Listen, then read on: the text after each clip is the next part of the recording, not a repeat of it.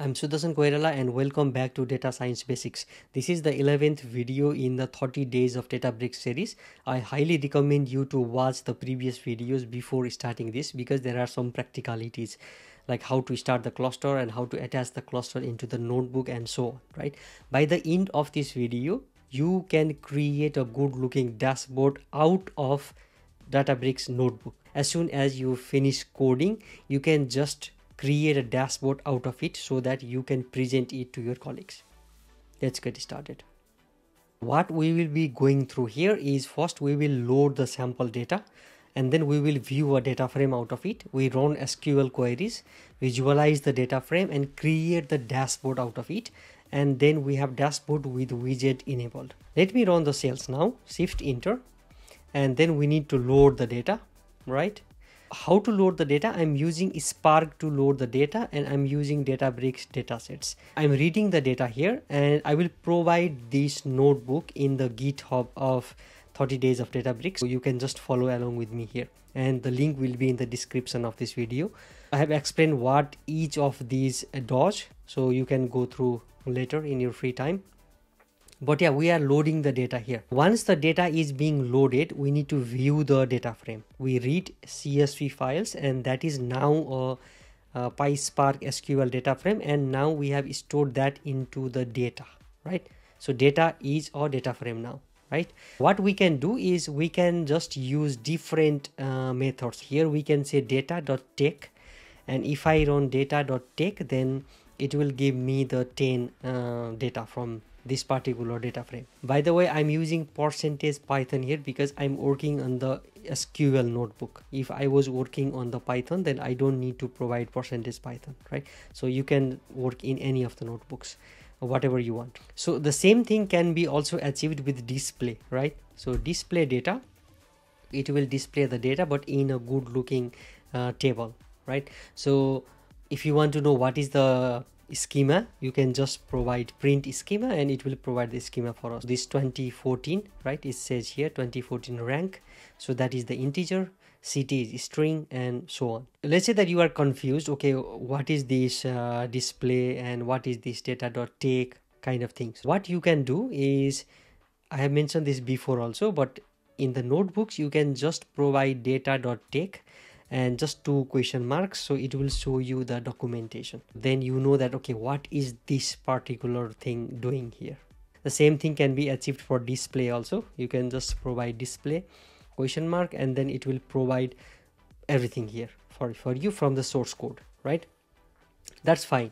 Uh, that is just the normal things. Now how to run sql queries from that data frame right? First you need to create table or view here i'm creating the view meaning that from PySpark data frame we can create the view or the table so that we can start using SQL on top of that. Here I'm saying data dot create or replace temp view and I am giving the name here data underscore geo. This is just we create the temporary view. Now we have data as a data frame and we have data underscore geo as a table or view in this case. Now we can use the normal SQL things. And as you can see here I don't need to provide percentage SQL because I'm working on the SQL notebook now. I will just run this particular cell. Select state code state code column and 2015 median uh, sales price is on here from data geo right? So it is providing the table for us right? So now how can we visualize the data and create the dashboard that is the main part of this video. I can just say display data. I hope you remember some time ago i mentioned that display is powerful thing. It helps us to display the data. We can create the data profile visualizations and many things. This is the normal behavior data here. Now you you might be wondering where does this data profile as well as visualizations come from right? I have already created this with this plus icon. If you go to this plus icon here you can create the visualizations and then the data profile so what is data profile? Quickly you know that which column in this particular data are numerical features as well as categorical features and how many data is missing, what is the mean median and all the different things. That is the data profile, right? And we can create the visualizations also already from this display data here I have created one visualizations as you can see here this is state in x-axis and 2015 median sales price in the y-axis. And similarly in visualization 2 I have created state code and count 2015 median sales price. How did I create this? Is if you go to the plus as I said before and if you click these visualizations you will see a new window here. Here you can choose different uh, visualization type. So line plot bar plot area whatever you want to do and then you can choose x column y columns. You can group by or even do the stacking whatever you want to do or normalize the values to percentage. So you can choose anything you want based on your particular data. I have already created this. I will say are you sure you want to close the editor without saving? Yes because i already have two visualizations here okay so now you are done with data visualizations. You know what are the missing values and what are the different things right? Now let's say that you want to present this in a dashboard to some of your colleagues. How can you do that right? That is the main part here. So let's say that i want to go to the table and i want to show the table to my friends as a dashboard right? What you can do if you go to this table there is this add to dashboard so if I click this add to dashboard and add to dashboard, it will create in a new uh, browser tab here. As you can see here, it created a uh, dashboard for me. And I want to attach this dashboard, this particular data frame in the dashboard. I can give the name of the dashboard. Let's say that this is, for example, for now, test dashboard, right? I can say enter and I can view the notebook which is being attached to this particular dashboard. I can present the dashboard. So there is stack and float different things that you can choose from here. And what is the, let me see here, what is the dashboard width? You can change from the from here, right? Let me just keep it as it is now. So you can remove all the graphs as well as delete this dashboard right? You can delete the dashboard. Now yeah this is how you can create the dashboard but this is just one right? If i want to add more visualizations what i can do is go back to the notebook. Let's say that i want to add visualizations one right? I go to this drop down add to dashboard and i can say test dashboard. That's there now. If you go here there is this test dashboard. And let's say that i want to go and i want to add these visualizations too. I go here test dashboard and here is the visualizations. You can modify this like let's say that you want to bring it here and if you double click it will come to the size and let's say that you want to put this one here. You can just drag and drop wherever you want to put it. This is great right? Now let's say that what if you want to select the data based on the widget already in the dashboard right? Let's see how we can achieve that. If i go back here is the widgets in the dashboard I hope you know how to create the widget. Let me go here. I will run the data again for you because this is already being created on the top of this notebook. And now I'm creating these distinct values. I have already shown this in my widgets video. Why? Because I want these values to be in the widget. Now I'm creating a widget here. Data dbutils widgets drop down, right? So I'm giving the name. I'm giving the default value as Alabama and then I provide the distinct values list and this is the drop down right? I can run this and it is going to create a drop down as it is shown here. Now it created a drop down here. I can also pass the widget value using the get command.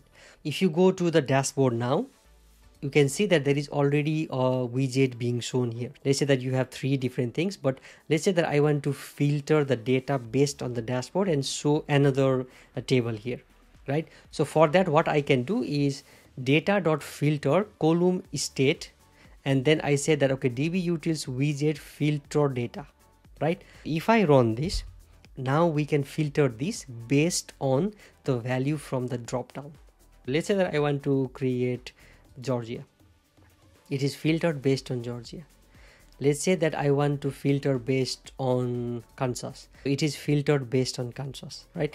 Now I can add this uh, table into the dashboard, right? For that, you can just go here, add to dashboard, test dashboard. If you go to the dashboard now, we have a data or the table it is being shown in the dashboard right so i can make it smaller so it fits here and what we can do now is if I go to this drop down and if I choose New Jersey. As you can see here this particular table refreshed based on the drop down value here. And other just remains the same because that is not attached to that particular widget right?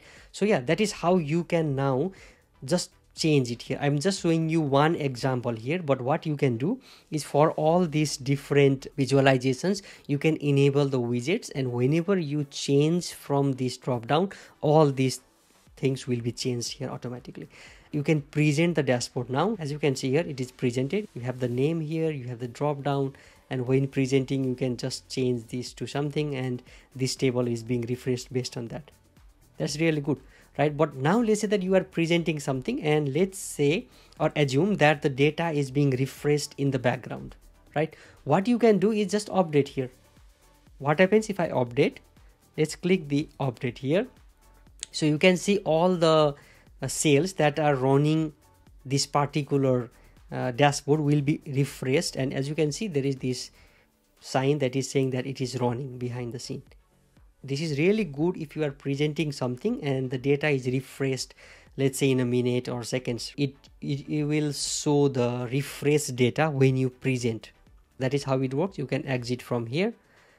That's it. Let's say that you don't want the uh, widgets. You can just click this and it's already gone from here because when I run the refresh things it automatically removes from here right?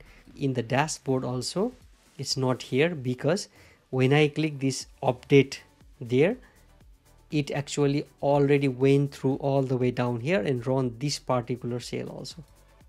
So to avoid this what you could have done is create a new cell here. Let's say I want to go with the Python and I can say db utils book dot exit and I can provide some value okay success. So that when I run this it will not go to the next line let's let's do the same right? Now let's go to the notebook part here. And if I just go to the present dashboard and if I update this let's see what happens. There should be a widget also shown here and we can filter based on that right? Let's wait when that okay as you can see here there is now. And if I go here and just change it this data will be refreshed. And the last one is not around here because we exited this from this particular cell. I have explained this in my previous video also but you get the idea. And this is really good in this scenario where you are presenting something and you don't want some of the cells to run when you present right? Okay that's all for this video. I hope you learned something new today. Thank you for watching and see you in the next video.